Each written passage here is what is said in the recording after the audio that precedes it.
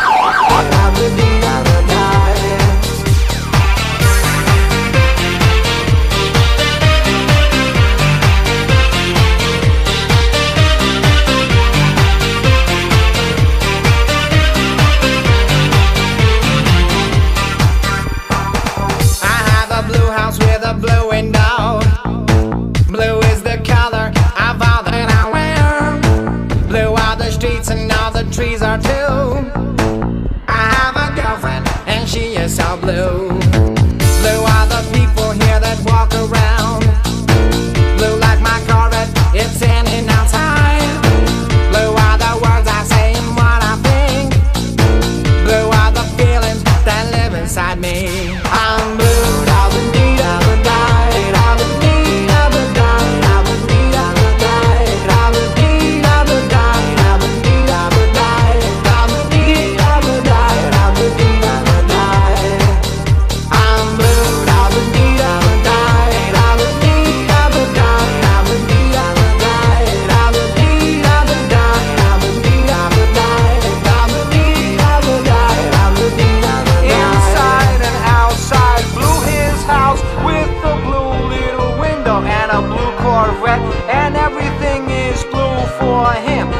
yourself and everybody around.